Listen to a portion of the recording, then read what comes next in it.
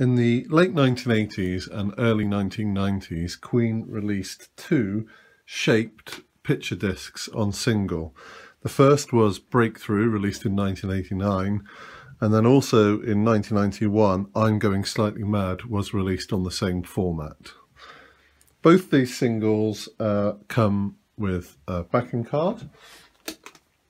Uh, here's the front of the Breakthru release. And here's the reverse of the backing card.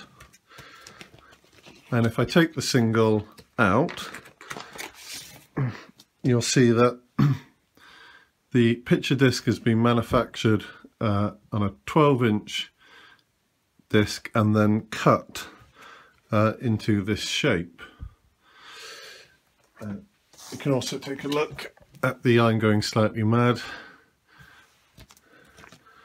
There's the reverse of the backing card.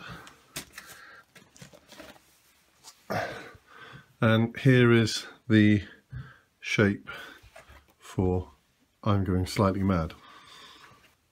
Both these singles are fairly easy to come by even today.